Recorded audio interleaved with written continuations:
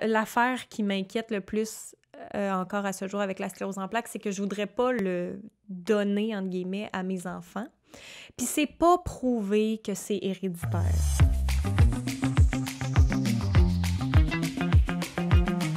Allô tout le monde! Salut! Bienvenue à un épisode de La cerise sur la SP. Et juste avant, on fait un petit disclaimer.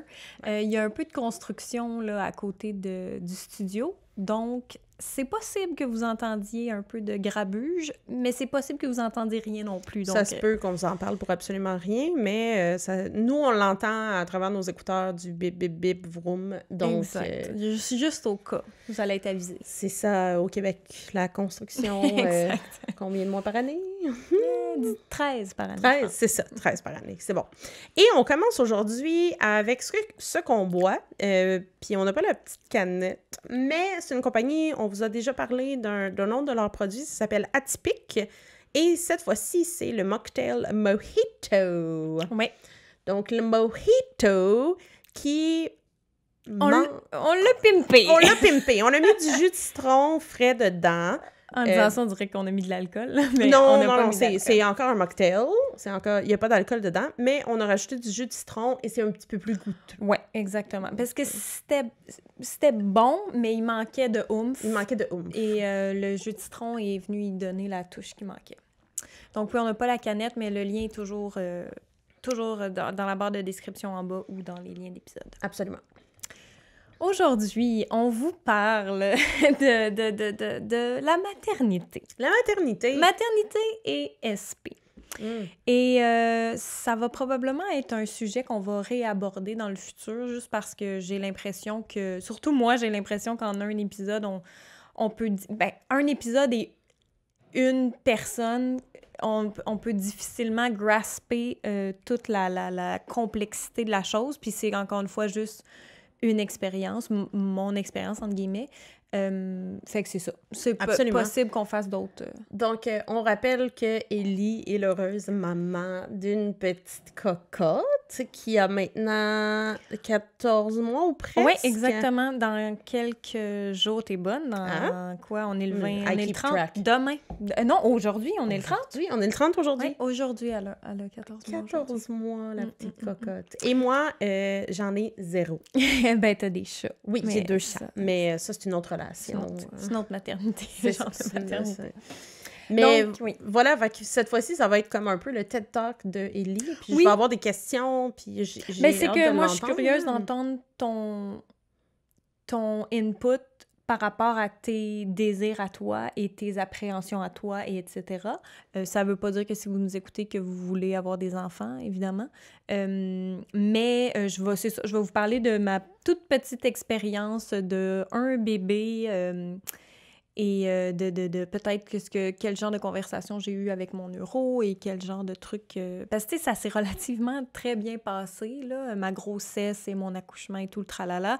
D'ailleurs, euh, je pense que quand j'ai eu mon diagnostic, mon neurologue, c'est une des premières choses qu'il m'a dit. Parce que quand tu as ton diagnostic, tu es un petit peu hébété, si on veut. Et il, posait des questions puis il répondait aux questions. il était comme, il était comme, ça, ça pourrait être les questions que tu aurais. Donc, euh, tu peux toujours tomber enceinte, tu peux avoir des enfants. Fait que, il répondait comme à des questions que je posais pas parce que dans le moment, tu sais pas vraiment quelles ben, questions poser. C'est à la fois intéressant et dans le sens, ce que, ce que je trouve intéressant avec cette approche-là, c'est que justement, on ne sait pas quelles sont nos questions. Par contre, quand tu viens d'avoir ton diagnostic, ça prend du temps à processer. Puis malheureusement, les neurologues euh, qui sont des experts, euh, expertes et qui ont beaucoup d'expérience euh, peuvent, peuvent te lancer beaucoup d'informations, puis il faut y revenir. Fait que moi, ce que je dirais, c'est peu importe si c'est la maternité ou autre, c'est correct si vous venez d'avoir votre diagnostic, puis vous avez des questions deux semaines, trois mois, six mois, deux ans après, notez-les je pense que la meilleure façon. plus ça qui va arriver, là, je pense. Parce que on the spot, à moins que tu aies noté tes questions avant, dans l'optique où tu sais, tu peux pas faire ça parce que tu sais pas que tu vas recevoir. Mais, mais genre, moi, qu'est-ce que ton neuro t'a dit au début? Oui, c'est ça. dit que tu pouvais avoir des enfants. C'est ça. Et je me rappelle plus tant des autres questions-réponses qu'il m'a formulées parce que peut-être que c'est ça qui m'a marqué, mais tu sais, à ce moment-là, je pense que j'avais 24 ans. Fait que, tu sais, c'était pas dans les, dans les cartes tout de suite. Je savais qu'éventuellement... Euh, J'étais le genre de personne qui, qui voulait des enfants. J'étais pas comme sûre, dure comme fer, mais en même temps, je penchais vraiment plus vers cette route-là. Mhm. C'est-à-dire 90 j'étais pas mal sûre que je voulais, euh, aimerais avoir des enfants. Euh, fait qu'à ce moment-là, j'ai pris l'information, puis clairement, je m'en suis souvenue, mais tu sais, j'ai eu des enfants quatre, quatre ans plus tard, là, fait que 4-5 ans plus tard. Euh, fait que oui, euh, de ce que je me rappelle, c'est ça, il m'avait dit, donc, tu peux toujours avoir, euh, tomber enceinte. Il m'a dit, c'est même très bien euh, d'être, c'est un peu drôle, là, mais je, dis pas les, je cite pas les mots exacts qu'il m'a dit, là, mais il m'a dit, c'est même très bien d'être enceinte avec la sclérose en plaques. C'est comme si ça stoppait un peu, la maladie, là, mais les symptômes, étant donné que ton corps est tellement euh, occupé, puis toute son énergie est, là pour le bébé, euh, puis le fœtus et tout. Donc, il, oublie comme qu'il faut qu'il attaque son propre corps et il aide le corps à former un bébé, ce qui est quand même bon. ça me fait ça me fait penser quand j'ai eu mon diagnostic euh, je l'ai déjà dit là, mais j'avais vraiment beaucoup de symptômes puis ça ça allait pas euh, très bien puis j'ai été en arrêt de travail pendant plusieurs mois. Puis j'avais des amis puis on était rendu au point de l'humour mais ils étaient comme hey apparemment si tu tombes enceinte ça va aller mieux fait que mère porteuse ça te tenterait dessus? Puis on- je trouvais ça vraiment drôle. Imagine, tu te mets à être mère porteuse back-à-back, là, toujours enceinte. bon on le suggère pas nécessairement à vous Pas à la messe Pas mais euh, c'est de l'humour de Oui, exact. Fait que ça m'avait pas fait rire, mais je- je- je- en fait, ça m'avait comme. Ça aurait probablement été des questions que j'aurais eues, mais j'aurais peut-être jamais posé à mon neurologue, ou éventuellement, mais j'aurais peut-être comme recherché ces questions-là, ou whatever. Fait que là, en sachant tout de suite après ma barre que, que je pouvais tomber enceinte, que, que c'était pas, que c'était vraiment pas contre-indiqué, et, etc. Même chose pour. euh, parce que ça aussi, c'est genre une affaire qui. Probablement la- l'affaire qui m'inquiète le plus euh, encore à ce jour avec la sclérose en plaques, c'est que je voudrais pas le donner, entre guillemets, à mes enfants. Puis c'est pas prouvé que c'est héréditaire. Donc, c'est comme dur de s'exprimer là-dessus parce que c'est pas, comme je vous dis, c'est pas vraiment prouvé. La chose que mon neurologue me dit, et moi, évidemment, je me fie à mon neurologue à moi, euh, c'est que, admettons, je suis une femme au Québec, dans mon range d'âge, dans ma situation exacte, mais pas, qui n'a pas la sclérose en plaques. Mes enfants ont 2% de chance d'avoir la sclérose en plaques. Parce que là, encore une fois, on est au Québec, Canada, en France, c'est peut-être probable, peut-être la- semblable, étant donné que nos, euh, notre pourcentage de, de population euh, est très semblable au niveau euh, de sclérose en plaques. Je pense que le Canada reste le pays avec Oui. le plus de cas au monde. Oui. Mais effectivement, le, le pourcentage, parce que moi, ma grand-maman avait la sclérose en plaques, donc quand j'ai eu mon diagnostic, tout le monde disait, ben voilà. Et mon neurologue aussi m'a dit que c'est pas si simple que ça. C'est ça. L'hérédité est un petit, petit pourcentage, donc effectivement, c'est un risque, mais le pourcentage ne semble pas être... En tout cas, ça ne devient pas une contre-indication à avoir des enfants. Absolument pas. C'est ça, c'est ça qui est dur à expliquer, même pour, ben, en tout cas, nos neurologues. C'est, c'est que ça va arriver qu'il y a de la sclérose en plaques dans la même famille, lignée, euh, mais euh, il y a des cancers aussi dans la même famille, lignée. Tu sais, fait que c'est dur de dire... Il n'y a, pas de preuve, en fait, qui fait qui dit que si toi, tu as la sclérose en plaques, tu vas tu vas le donner à quelqu'un, c'est sûr. Mhm. Tu sais, genre, on- on- j'ai de la misère à m'exprimer là-dessus mais- parce qu'on n'est pas des experts, évidemment. Sci- Scientifiquement parlant, il y a des maladies qui sont très claires, des maladies Oui. génétiques, par exemple, puis là, il semblerait que la sclérose en plaques n'est pas...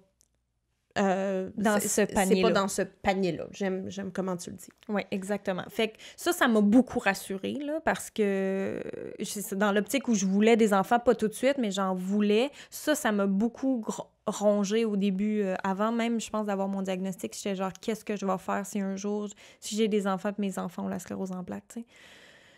Mais euh, oui. J'ai- Av- avant d'avoir ton diagnostic, est-ce qu'on parle de ton épopée ou... Oui. euh, OK, tu- fait que tu le savais qu'il y avait sclérose en plaques dans les airs. C'était pas juste tu pensais à la sclérose en plaques avant même. Non, non, non, je, savais même pas c'était quoi avant que je me fasse nommer. Non, mais c'était dans mon épopée de, de, de, oui, oui, de diagnostic, juste avant le euh, diagnostic. Oui. Mais tu sais, j'y ai sûrement pensé un petit peu avant, un petit peu après, juste tu sais, les pensées qui font comme, oh mon Dieu, s'il faut que mes enfants aient la sclérose en plaques, je vais m'en vouloir pour la vie. Puis eux, ils vont m'en vouloir pour la vie parce que j'ai décidé d'avoir des enfants en sachant que je pouvais leur transmettre. En tout cas, ça me faisait capoter. Ben oui. fait que c'est ça. J'ai même pas fini mon, mon, mon, histoire de pourcentage. En gros, euh, au Canada, étant une femme dans la situation, blablabla, on a 2% de chance euh, si j'étais en santé. Et là, comme j'ai la sclérose en plaques, semblerait que le pourcentage augmente de 1% Donc, ça devient 3 Hum, je suis capable de vivre avec ça, là, dans le sens où, tu sais, on peut tout... Mais ce qui me faisait me rassurer, là, puis peut-être que je disais n'importe quoi, mais je me disais, tu sais, on peut tous mettre au monde des enfants malades. Ça veut pas dire que c'est de notre faute à 100% C'est sûr que quand c'est la sclérose en plaques, t'es genre, OK... Euh, Il semble avoir un lien plus direct. C'est ça, tu sais. Mais tu sais, ça doit faire la même chose que quand ton enfant a le cancer ou, tu sais, la leucémie, tu sais, c'est clairement pas ta faute. Non, non, tu comprends ce que je veux dire? C'est pas une décision consciente de haha, tu sais. Exact, tu sais. Fait que j'étais comme, OK, tu sais, 3 euh, tu sais. Puis de toute façon, j'essayais de me rassurer en me disant, mais on a un mode de vie sain, on essaie de, de, de en tout cas, tu sais, on essaie de bien s'alimenter, d'éviter le stress. Euh, tu sais, juste, je sais, puis tu sais, on le sait que la, la sclérose en plaques peut être, euh, pas causée, mais peut être déclenchée avec un, un gros stress ou quelque chose comme ça. Fait que, j'essayais de voir ça positivement dans le sens où je peux modeler un peu la vie de mes enfants pour que ce soit le plus paisible possible, le plus, sais, calme et le plus euh, épanouissant possible. Tu sais, j'essayais, mais tu sais, là, dans à ce niveau-là, j'essayais de me dire n'importe quoi qui allait me faire, euh, qui allait me faire, qui allait me rassurer au final. Mais, euh, fait que finalement, euh, j'ai quand même décidé, on a quand même décidé qu'on allait avoir des enfants quand même, qu'on prenait, tu sais, j'ose même pas dire on prenait ce risque-là, parce que je vois pas ça. Tous les jours de ma vie, je me dis pas, ma fille va avoir la sclérose. Hmm. Pas, pas en tout, là. Pas en tout. Tu sais, comme, euh, comme moi, il y en a pas dans ma famille, je veux dire, je, je suis comme, c'est pas comme si c'était, je sais pas. J'essaie de pas trop penser à ça. c'est sûr que si ma grand-maman l'avait eu, ma mère l'avait eu, je l'avais eu, euh, bon. Mais puis je sais que... ça arrive, je sais qu'il y, y, a des familles qui vivent avec ça, puis c'est très difficile. Puis il y a aussi les, les fils, là, il faut pas, ah oui, pas minimiser le fait que Juste parce que c'est les, hommes. C'est les femmes qui sont les plus touchées. Je pense que c'est deux sur trois, la statistique. Euh, puis les hommes ont tendance à être diagnostiqués beaucoup plus tard que les femmes. Ça, c'est évidemment en général. Mm-hmm. Mais ma question est la suivante. J'imagine que toi et ton partenaire de vie, vous n'avez parlé avant de prendre la décision. Est-ce que ça a été quelque chose qui, que, qui l'inquiétait aussi ou... Raph, pour vrai, il était pas tant inquiet de ça. Ben, surtout qu'il était là à toutes mes rencontres de neurologue. Il entendait ce que le neurologue disait. Moi, ça me consumait beaucoup plus que Raph. Parce que j'étais comme... C'est sûr que moi, ça me consume plus parce que si ça arrive, c'est ma faute. C'est mm. moi la cause de ça. Fait que c'est sûr que moi, je ruminais ça, tu sais, pendant longtemps. Est-ce que je vais un jour arrêter de penser à ça? Probablement jamais. Je ça va toujours être là, mais je veux, je, veux juste. Tu je pense pas à ça tous les jours, pas du tout. C'est pas ça que je veux dire, mais jamais ça va disparaître dans le sens où ça va toujours être là. Mais c'est pas là comme omniprésent, genre j'y pense tout le temps puis je stresse avec ça. Pas, pas en tout, justement, parce que je me dis, j'ai pas besoin de stresser avec quelque chose qui arrivera probablement jamais. Tu mm-hmm. comprends-tu? Ça se fait que ça, ça arrive pas, pourquoi je vais avoir passé ma vie à stresser que, tu sais. Fait que j'essaie de pas penser à ça, puis comme je vous dis, de, de, de juste faire que notre mode de vie soit relativement euh, calme et je sais pas comment l'expliquer, mais tu sais, il y, a quelque chose dans, dans, comment on élève un enfant, là, tu sais, avec notre énergie, euh, ce qu'on décide de faire, tu sais, de de pas justement être stressé. sais, Raph puis moi, on, on, chicane pas. On, on, quand, quand bébé est là, quand la, la, garderie est finie, on, le travail est fini. Euh, c'est comme, tu sais, là, en ce moment, on, travaille, entre guillemets. On enregistre. Mais je veux dire, tu sais, on, essaie d'être dans un mood, on est, on est de bonne humeur. On est, tu sais, mm-hmm. ça, ça, ça a de l'impact sur un enfant. Fait que, tu sais, je me dis, plus le plus être heureuse, pas stressée, puis, tu sais, je pense que c'est le best, J'ajouterais la nutrition. Oui, ben oui. Raphaëlie passe beaucoup de temps à, à faire la cuisine, à, à aller manger des légumes, des fruits, puis tout ça. Puis moi, ce que j'ai remarqué, c'est votre cocotte, elle mange vraiment beaucoup de légumes et de fruits. Puis Oui. ça fait partie de sa nutrition depuis, euh, depuis qu'elle mange. Absolument. Elle mange qu'on mange, puis... Puis euh, ça, je pense que c'est super... C'est un beau début de vie, tu sais. euh, je sais pas qui peut relate avec moi, qui peut faire des liens avec moi, mais moi, les légumes, les fruits, j'ai vraiment une relation plus difficile. C'est pas un réflexe, c'est pas ce que j'ai envie de manger, puis j'ai vraiment travaillé plus dans ma vie adulte de dire OK ben il faut que j'aille des légumes, j'aille des fruits, puis j'essaie de mais c'est un effort. Fait que c'est pour ça que je me suis pas rendue à la deuxième étape du plan de, de Dr. Walls. J'allais dire, c'est Um, sûr que tout le monde peut relate avec toi. Ben, tu sais, j'ai une de mes cousines, c'est les protéines. Faut qu'elle met à la salade puis les fruits puis les légumes avant de manger. Mais elle, elle- ça a probablement été dans son, a- dans son plan alimentaire. euh, puis c'est drôle parce que j'ai vu un nutritionniste, euh, je fais une parenthèse, là, puis il disait, ben, tu sais, la viande, euh, les patates pilées puis la canne de petits pois, c'est très, très québécois.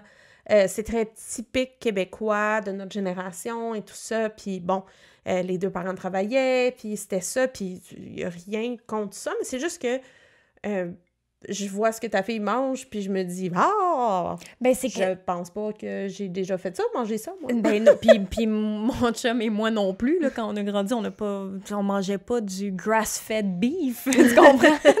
Mais là, nous, on est dans cette saison-là depuis quand même un bon moment, là, Mhm. ça fait bientôt cinq ans, là, tu sais, fait que euh, je me dis, elle va manger ce qu'on mange de toute façon. Ouais. on a décidé que qu'on utilisait cette façon-là pour euh, Emiliana depuis qu'elle a six mois, c'est elle qui se nourrit elle-même avec des morceaux sécuritaires, etc. là. Mais euh, donc, c'est ça qu'on mange. Puis juste de voir les assiettes, si son, si son, sa base, elle, c'est majoritairement, nos assiettes, en tout cas les miennes, c'est majoritairement des légumes, je dirais genre un moitié ou trois quarts légumes, le reste étant de la pro- une protéine, une viande. Mhm. Puis s'il y a du riz, ou évidemment, des fois, il y a du pain, du riz, et- etc., mais j'essaie que ce soit une plus petite portion. Mais tu sais, plus elle, elle s'habitue à voir ça, puis ça, Oui. tu sais, on le sait, là, c'est comment on a grandi, qu'est-ce que nos parents nous faisaient à manger, c'est comme notre, notre, euh, notre base, notre point de départ. Fait que si elle, son point de départ, c'est majoritairement des légumes et des fruits et des, de la viande grass-fed, whatever, ben ça part déjà avec un bon, Ben oui, un bon step, là, j'aimerais dire, finalement, elle suit pas mal ou presque le protocole de Walls, déjà. Oui. Donc, elle est sans gluten, sans, ou, ben, pas sans produits laitiers. Là, elle boit Ben, encore au du lait, fin- mais Oui. Mais, mais, tu comprends ce que je veux dire, c'est que c'est déjà quand tu parles de faire des choix de vie pour que ton enfant ait moins de chances de développer, ben c'est, tu sais, on le sait, le, le protocole, ben on le sait, pas vous peut-être. On n'a pas encore fait l'épisode spécifique sur le protocole de Walls, mais quand elle parle de ça aide la sclérose en plaques, c'est pas juste ça, ça aide l'eczéma, puis ça aide euh, Plusieurs tellement, maladies euh, la, maladie, la maladie de Crohn, euh, sais, plein de maladies de- du système euh, immunitaire, donc puis des, des conditions, l'asthme, euh, les allergies, euh, tout ça. Fait Mais tu sais, moi, je me dis ça, mais j'ose pas le dire tout fort. Tu sais, je le dis vite, vite. Ben, tu sais, on essaie d'avoir des bonnes habitudes alimentaires, des bonnes, tu sais. Mais je veux pas dire, ah, ben, parce qu'on mange sans gluten, sans produits laitiers, il y arrivera rien. Tu sais, tu comprends Ah, ce que ben je veux non, dire? ça c'est sûr. Même Ouais. si je sais que ça la part avec une, vraiment une belle base dans la vie, je pense, de bien s'alimenter. Euh, c'est ça, je veux pas je veux pas dire que parce qu'on fait ça, euh, tu sais, elle va être en santé puis elle va vivre jusqu'à 200 ans. Euh, mais euh, c'est ça, je pense que puis ça, étant donné que nous ben mon chum, il mange un, euh, un peu de gluten, mais euh, moi, j'en mange pas, puis on mange pas de produits laitiers. Fait que si on achète du yogourt pour Emiliana, on va acheter du yogourt vegan parce que il va être dans le frigo. Fait que si jamais on veut s'en Ben oui. prendre ou faire des recettes avec, on va le prendre vegan parce que comme ça, on peut tous en manger, Mhm. tu sais. Mais à la garderie, euh, on ne dit pas à la, à la garderie sans Oui, qu'elle sans produits parce qu'elle n'est ben pas oui. intolérante, elle n'est pas Oui, oui, allergique à rien. Fait qu'elle mange clairement du yogourt puis euh, du pain euh, ailleurs. Puis on l'empêche zéro de faire ça. là. Si on est à- au restaurant, on va y commander des trucs avec du gluten, de produits laitiers. Tu sais, on n'est pas à ce point-là. Tu sais, je sais qu'il y a des gens qui sont, mettons, vegan. Leur bébé va être vegan à 100% aussi. Puis je comprends ça, par exemple, parce que nous aussi, on fait ça à la maison. Euh, mais sinon, on n'est pas... Parce que je veux pas non plus qu'elle développe un trouble alimentaire non plus, oui. là. De genre, non, faut absolument... Genre, le gluten est le démon, les produits laitiers, c'est le démon, Non, c'est pas le ça sucre euh, est le démon. Non, non, non.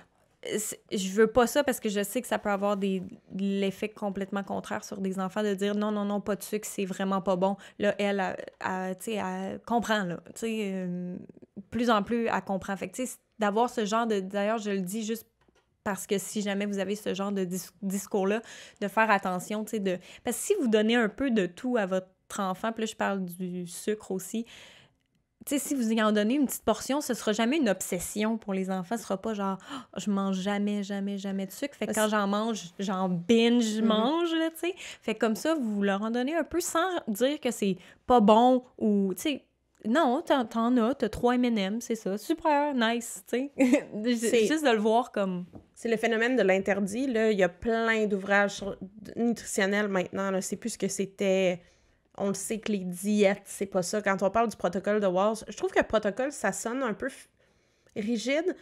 Et ce mais il faut dire que c'est une médecin qui a fait ça, donc c'est pour ça que ça s'appelle un protocole. Euh, Ellie et moi, on mange pas de gluten et de produits laitiers parce qu'on voit un vrai impact positif. Clairement, c'est pas pour avoir la peau sur les os ou, tu sais, c'est pas pour perdre du poids, c'est c'est vraiment pour que notre sclérose en plaques soit, soit plus en contrôle. Exact. Mais jase-nous, euh, tu tombes enceinte, puis là, on, va revenir on va revenir sur la maternité. Euh, c'était subtil, mon changement, hein, quand même. Je vais le dire.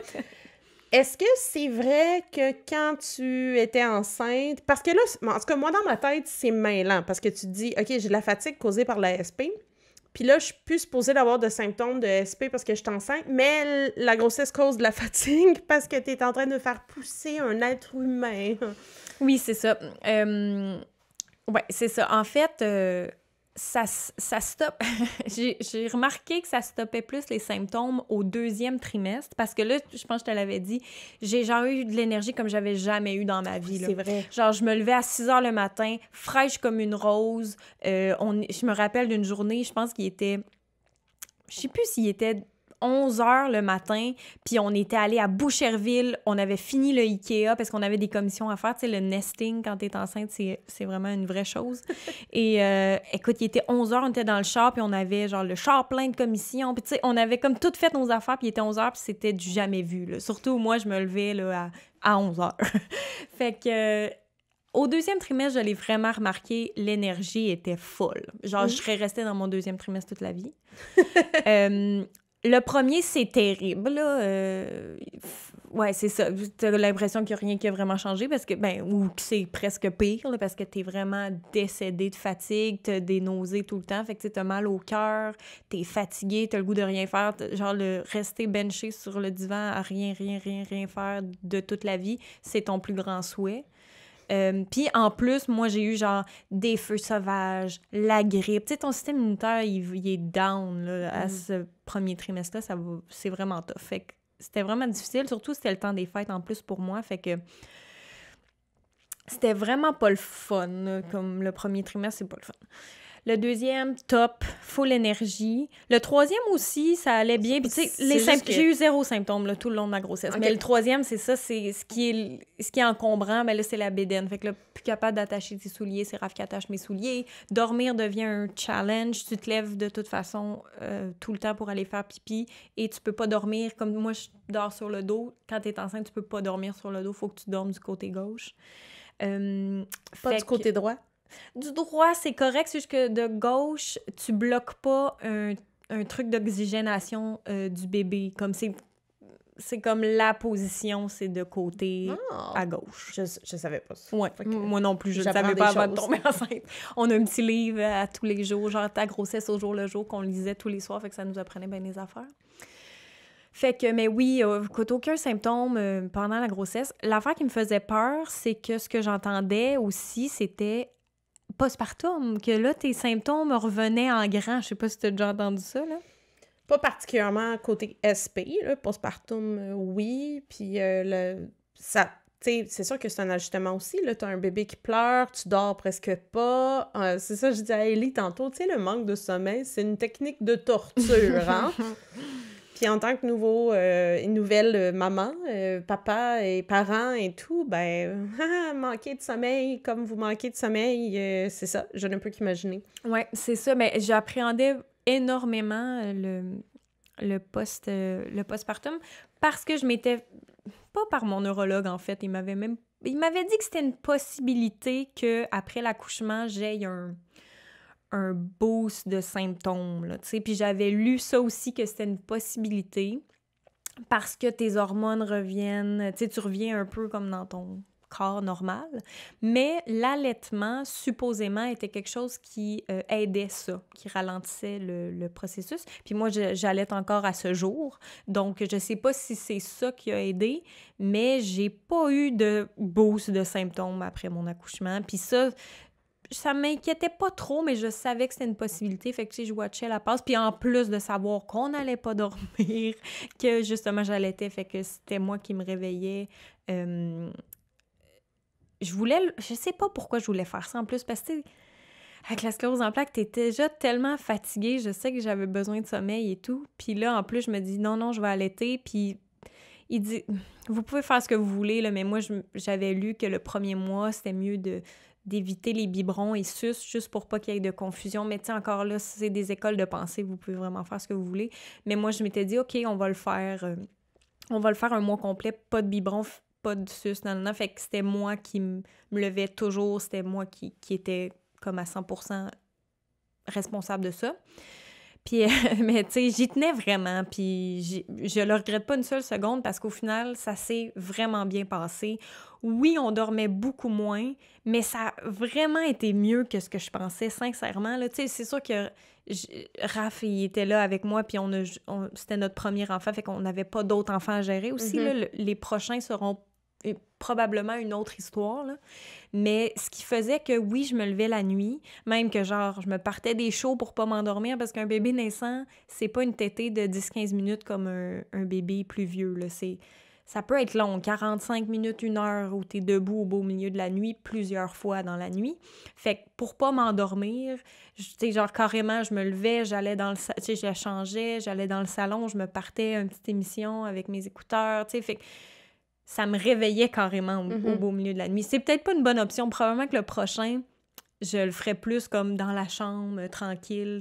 peut-être que je me ferais pas le boost de genre me réveiller avec un écran plein de... Ben, tu sais, c'est live and learn, là. Je pense que oui, ce absolument. que tu dis, un autre enfant, ça va amener des défis différents, mais ça va amener des solutions que vous avez vécues avec Emiliana. Donc... Exactement.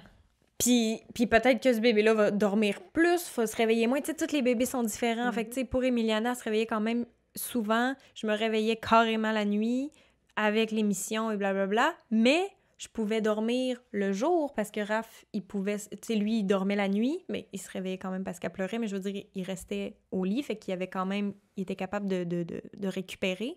Puis le matin, ben là, il prenait le relais, moi, je pouvais dormir, il me l'amenait pour allaiter, tu sais. Mm-hmm. Fait que c'était quand même pas si pire que ça. Puis même après un mois, j'étais comme, je disais à Raph, c'est vraiment moins pire que ce que je pensais.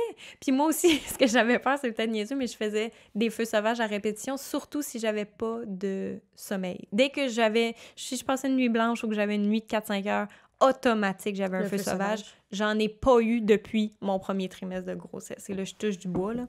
Mais... Euh, Ouais, parce que c'est vraiment pas le fun. Je suis à ça mhm, aussi. Mhm. fait que j'appréhendais tout ça, la fatigue, les feux sauvages. J'étais comme là, il va falloir que j'aille prendre des antiviraux pour ça. Puis j'écoute, j'avais pris deux prescriptions à la pharmacie au cas où ça arrive. Je l'avais dit à ma médecin pour qu'elle m'en prescrive. J'étais sûre que ça allait m'arriver, que j'allais pas dormir, que ça allait être l'enfer. Après un mois ou deux, j'étais comme, pour vrai, c'est pas si pire que ça. Tu sais, en même temps, j'avais rien d'autre à faire que de m'occuper d'un bébé. Là. Fait que c'était vraiment juste, je travaillais pas, fait que j'écoutais des forensic files, puis j'allaitais mon enfant. Là, fait qu'au final, je voyais comme une espèce de de balance, finalement. Que oui, c'est très difficile. J'ose même pas imaginer les femmes qui sont toutes seules ou les hommes qui sont toutes seules pour élever un enfant. J'ose même pas y penser.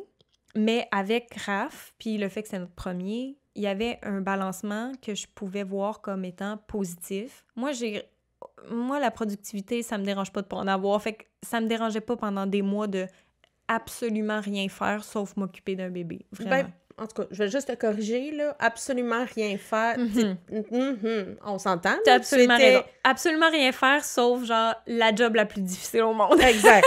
Euh, Garder un petit bébé en vie. C'est ça, t'occuper d'un mini-être humain qui n'a pas de défense et qui sait pas comment survivre toute Oui. là. On le Absolument rien faire, je veux dire par là, tu sais, tâches ménagères au minimum. Raph s'occupait de euh, me nourrir, faire, faire la vaisselle, faire, tu sais, le lavage, j'en prenais peut-être un petit coup, euh, mais tu sais, pas de travail. Pas rien, là, je veux dire, comme...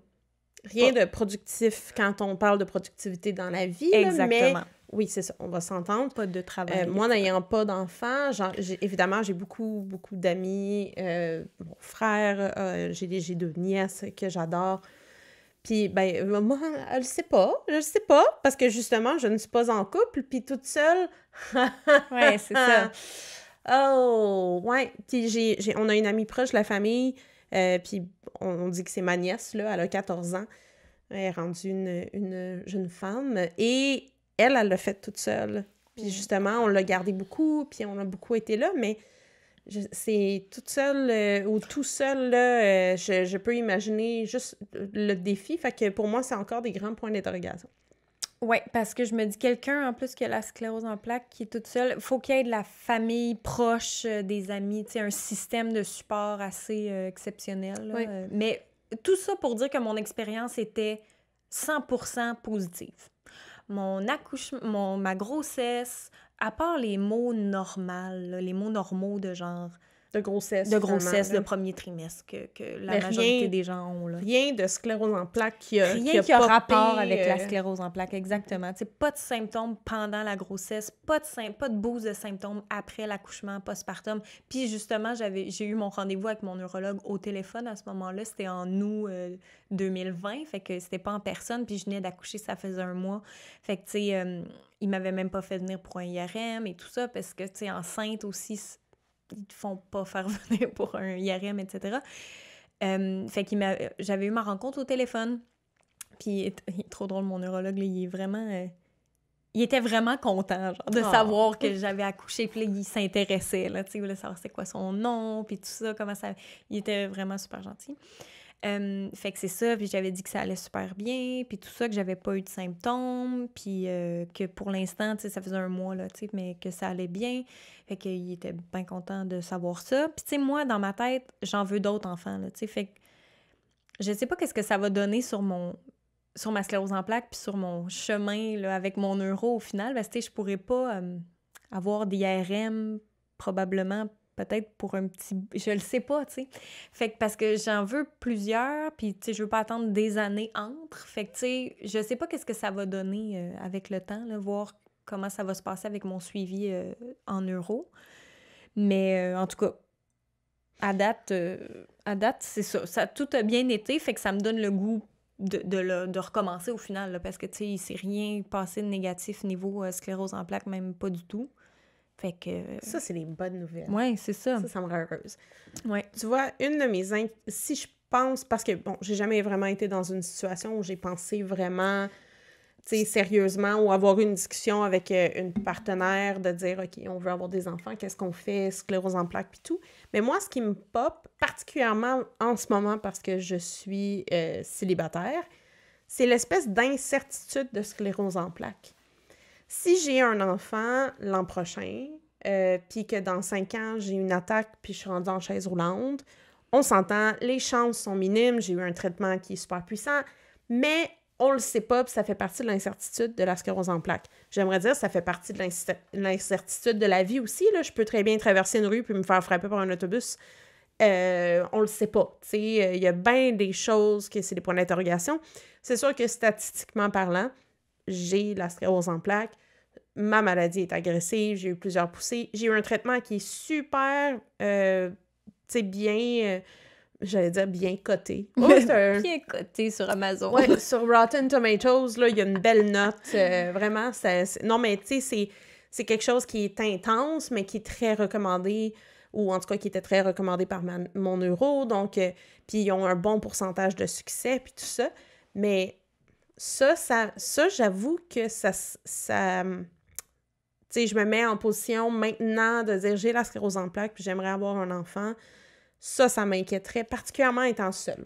Oui, c'est ça. D'où, je veux, je veux pas dire l'importance, mais d'où là le fait que quand tu es avec quelqu'un, tu peux vivre ces moments-là beaucoup mieux parce que tu as un support, tu sais.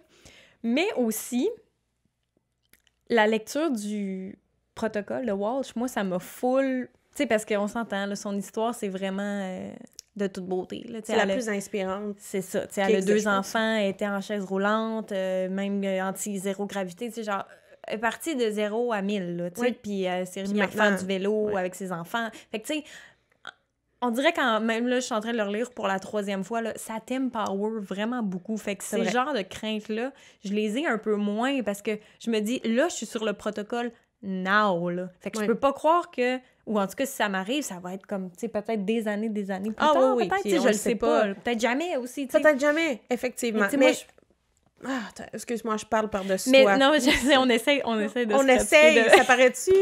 On est consciente. Et ça se passe bien, euh, ce que je voulais dire, c'est que ça craint un peu de, de, de lire ce genre de témoignages-là puis de se dire crime je le fais là, puis en plus euh, moi j'ai euh, cyclique elle, elle, elle, avait pas une cyclique là. Elle avait une progressive? Une secondaire ah oui! Primaire je crois. Ah oui! Oui. Je suis en train de relire l'intro puis elle l'explique là. Je pense qu'elle était rendue à avoir une progressive primaire si je me trompe pas.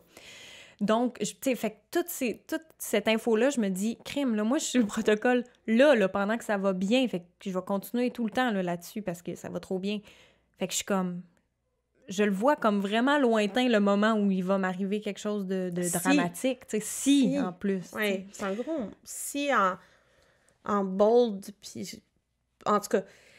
Mais c'est ça, que. Non, mais c'est vrai, puis c'est drôle parce que là, je pense que je suis juste sortie avec la crainte que, que j'ai dans ma tête, euh, parce que c'est sûr que ça me pop une fois de temps en temps, là. J'avance en âge, puis. Euh, mais c'est vrai qu'on a plus de contrôle. Puis tu sais, la raison pourquoi est-ce qu'Ellie et moi, on parle beaucoup du protocole de Walls, de Dr. Walls, Walsh, peu importe comment est-ce qu'on mm-hmm. le nomme, c'est vraiment parce que ça nous redonne du contrôle.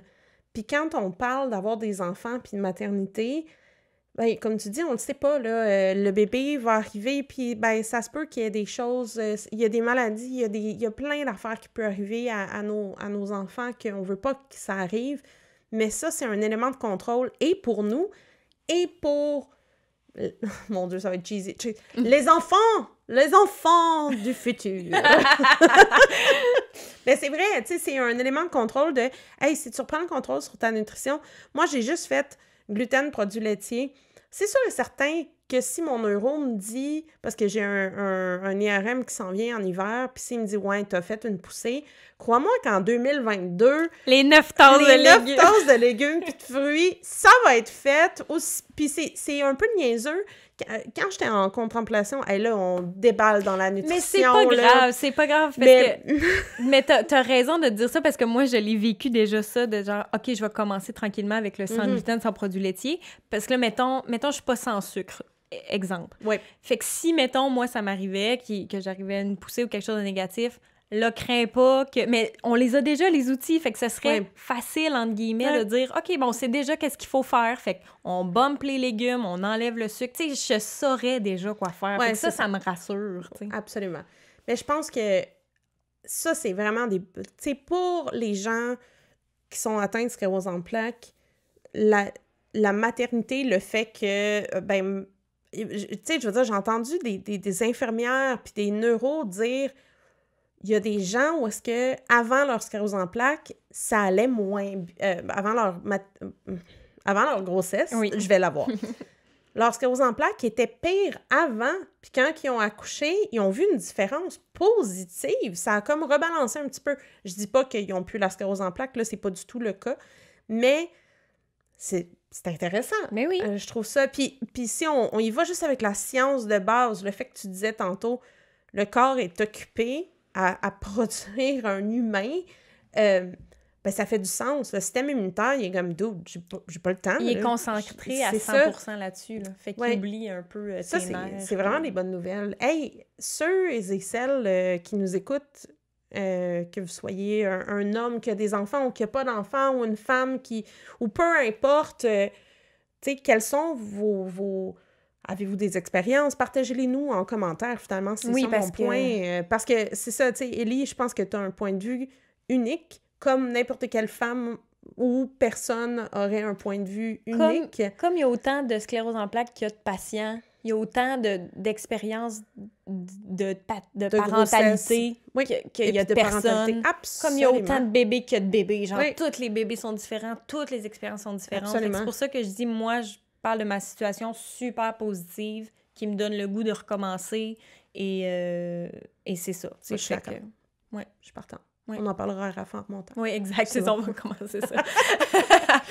non, mais laissez-nous savoir qu'est-ce que vos opinions, vos histoires en commentaire. On aime ça vous lire. Puis peut-être pour, euh, pour nos prochains épisodes, parce que c'est sûr qu'on va finir par en reparler, que ce soit maternité ou parentalité ou quelque chose comme ça. Fait que si vous avez euh, des sujets précis que vous voudriez qu'on aborde là-dessus... Des éléments plus spécifiques. Euh, exact. Puis j'essaie de voir, parce que c'est ça tu disais, j'essayais de voir toi, tes, tes désirs à toi, mais tu sais, tant que t'es pas devant le fait de genre, OK, euh, est-ce qu'on a des enfants ou pas, tu sais, tant que t'as pas ce talk-là, est mais est-ce que tu t'en veux, toi, des enfants, tu sais, genre dans le grand scheme les enfants.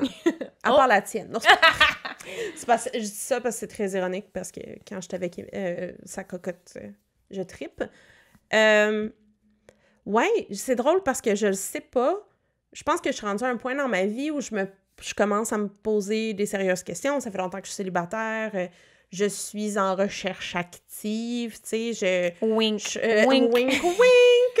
Euh, je suis rendue à une place où que j'aimerais beaucoup trouver quelqu'un pour justement bâtir... tu sais, je suis vraiment pas assez jeune, ou plus, plus, plus assez jeune pour aller dans un rave puis juste dire...